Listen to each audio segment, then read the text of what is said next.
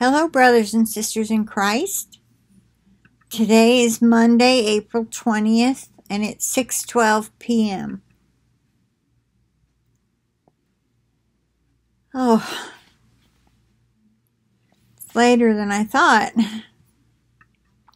I wanted to share something that was in my email that was uh, forwarded to me by Patricia.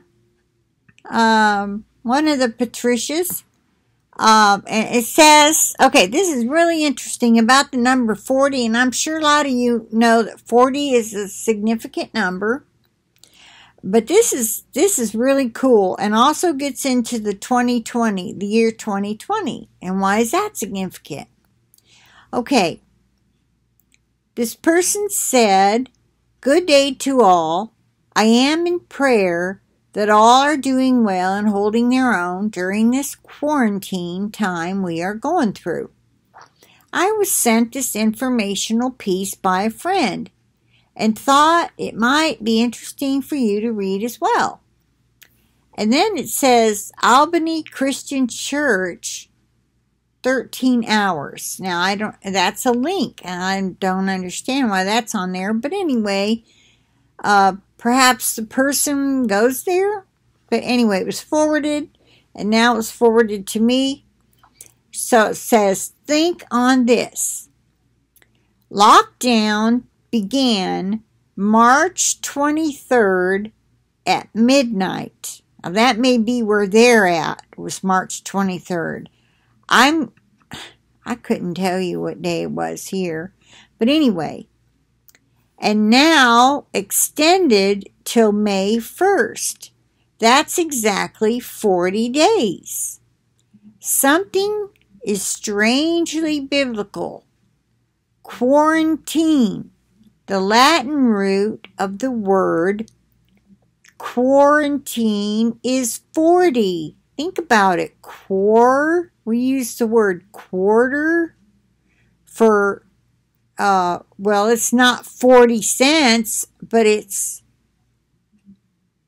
I forgot the significance I thought about a quarter. But anyway, the Latin root of the word quarantine is 40. So, what does the Bible say about 40?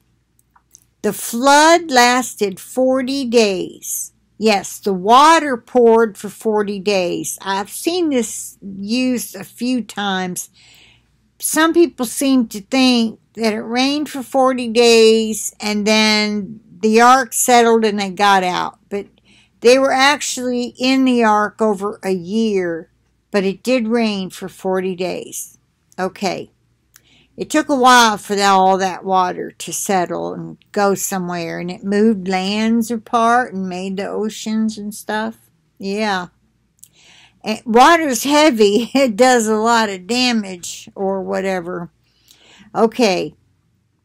So the flood lasted 40 days. 40 years Moses fled Egypt. Right, he fled Egypt and stayed away 40 years. And then the Lord told him to go and get his people freed. For 40 days, Moses stayed on Mount Sinai to receive the commandments. The Exodus lasted 40 years. Yeah, that's because of their lack of faith to take on the Canaanites the Lord punished them by saying everybody 20 and above would never see the promised land. They had to wander in the desert for 40 years. So for them, it was not just a time of testing, it was basically a punishment. But anyway, they wandered in the desert 40 years. Jesus fasted for 40 days. Lent is 40 days. Now that is only for Catholics. I mean, if, I knew some people that went, was in my small group from a, a kind of small community church that was non-denominational. They came from not Catholicism, but they practiced Lent. I remember the boys who were maybe 12 to 14 uh, talking about giving up uh, sweets or something. I forget. But anyway, so that came comes right from Catholicism, but they do have a type of fast for 40 days. 40 days for a woman to rest after giving birth. I don't know where they got that. Technically, it's six weeks, which is 42.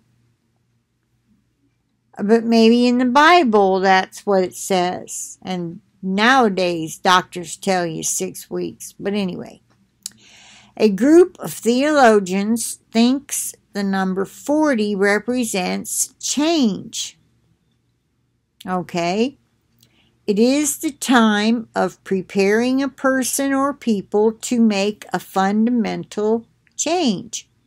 Something will happen after these 40 days. Just believe and pray.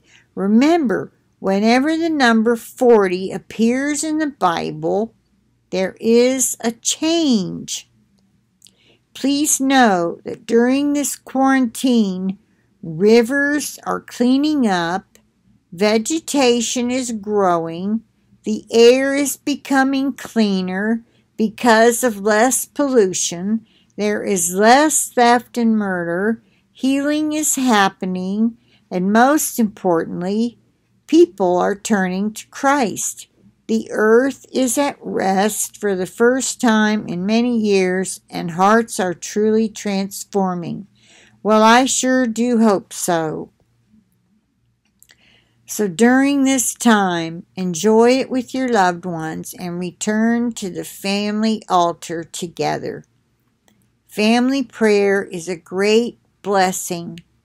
Through prayer, you will see the changes God can work in you and in your home. Christ promises us that everything works together for the good of those who love God. That's Romans 8:28. Remember, we are in the year 2020, and 20 plus 20 equals 40. Also, 2020 is the year of the United States Census. Jesus Christ, the Savior of the world, was born during a census. 2020 is also perfect vision. May our sight focus on the Lord and living according to his perfect vision for us, knowing he holds us in the palm of his hand. There was 40 days from the time of the resurrection of Christ and his ascension. Acts 1 11. This Jesus who has been taken up into heaven will come in just the same way. He is coming extremely soon. See, I believe when he comes back down and touches his feet on the ground, that's his second coming. That's not what's happening extremely soon. The first rapture is going to happen extremely soon. Those not ready will repent and get ready. And I am thinking it's 40 days after. They have to go through a time of testing and tribulation because they weren't ready. They didn't believe. They mocked and scoffed, even though they believed in the Lord. They were Christians. They go to church. Well, they did until now. So have they turn to their Bibles or are they on Facebook more? See, it's going to prove their love. How much do they love the Lord? They got time to show Him now. No excuses. May these days of quarantine bring spiritual liberation to our souls, our nation, and our world. The best is yet to come. Trust in the Father, Son, and Holy Spirit. And then it says copied. So that whoever started this forwarding copied it from somewhere else, maybe from the Albany Christian Church. Anyway, it was interesting reading, and it does bring out the number 40 and how important it is. So it's very feasible to believe the second rapture could be 40 days after the first one. I pray that it is because so many are not ready, and I would hate to see them go through much. But they will probably get hungry and thirsty and hot. Summer is coming. And without air, without power, you have no air. Conditioning, air conditioning, you uh, says they will be hot. They will have been crying because their children are gone and life is hard, but they know not to take the, the mark of the beast. And it may not even come about until after those 40 days. That's what I'm hoping. I don't know that for a fact. Okay, thank you, Tricia, for forwarding this to us. And I pray that it blessed everybody. Um, I do want to plead the blood of Jesus over it and over the internet connection, myself and my computer, and over each and every one of you and all your devices and your internet connections. And remember to turn your Wi-Fi's off at night and when you're not needing them. Don't let those microwaves or whatever waves comes out of it that makes all of makes the cell phone work with less data, makes the computer work, uploads the videos, lets you watch them. Wonderful technology, but I'm convinced it killed my dog. I'm just convinced it's dangerous along with cell phone use, putting those things on your head and into your ears.